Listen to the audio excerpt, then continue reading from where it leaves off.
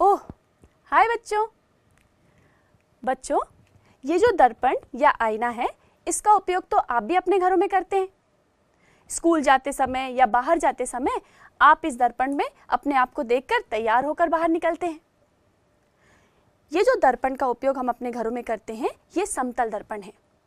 हम समतल दर्पण का ही उपयोग क्यों करते हैं? क्योंकि इसमें हम वैसे ही दिखाई देते हैं, जैसे कि हम हैं। क्या आप जानते हैं, एक और प्रकार का भी दर्पण होता है, गोलीय दर्पण। गोलीय दर्पण यानी, यदि हम कांच का कोई खोखला गोला ले लें और उसे अनुप्रस्थ तल से काट दें तो उसके दो हिस्से हो जाएँगे। हम उसका भीतरी हिस्सा भी देख पाएँगे और बाहरी भी। उसकी जो भीतरी सतह होती है, वो अवतल की तरह कार्य करती है और जो ऊपरी सतह होती है, वो उत्तल की तरह कार्य करती है। यदि इनकी सतहों पर पॉलिश कर दी जाए तो वो परावर्तक हो जाएँगी।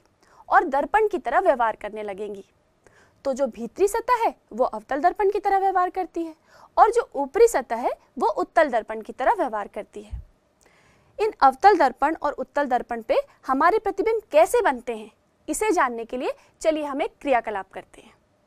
देखिए, ये है मेरे हाथ में स्टील का चमकदार करछुल। ये तो आपके अपने घरों में भी होगा। इसका उपयोग हम उत्तल दर्पण और अवतल दर्पण पे किस प्रकार के प्रतिबिंब बनते हैं, इसको समझने के लिए करेंगे। क्योंकि इसका ये जो बाहरी सतह आपको दिख रहा है, ये उत्तल दर्पण की तरह व्यवहार करता है। और ये जो भीतरी सतह दिख रही है, ये अवतल दर्पण की तरह व्यवहार करती है। तो चलिए, हम इसमें प्रतिबिंब देखेंगे अब। तो देखो बच्चों, ये जो करछुल की भीतरी सतह है, ये अवतल दर्पण की तरह व्यवहार कर रही है।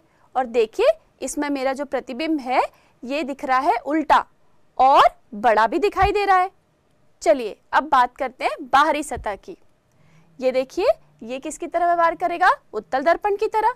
तो देखिए, प्रतिबिंब कैसा दिख रहा है? सीधा है और छोटा है। तो देखा बच्चों आपने, अवतल दर्पण और उत्तल दर्पण में हमें किस प्रकार के प्रतिबिंब दिखाई देंगे?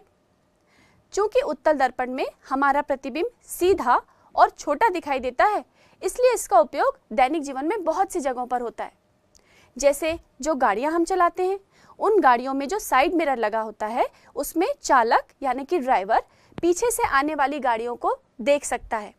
वो जो मिरर यूज़ होता है, वो जो दर्पण है, वो उत्तल दर्पण होता है। बिल्कुल इसी प्रकार रास्तों में कई बार अंधे मोड़ आ जाते हैं। अंधा मोड़ यानी जहाँ से दूसरी तरफ़ से आने वाली गाड़ियाँ हमें ना दिखाई दे। वहाँ भी एक बड़ा सा मिरर आपने देखा होगा, वो भी उत्तल दर्पण ही होता है। बच्चों, आपको एक बात बताऊँ?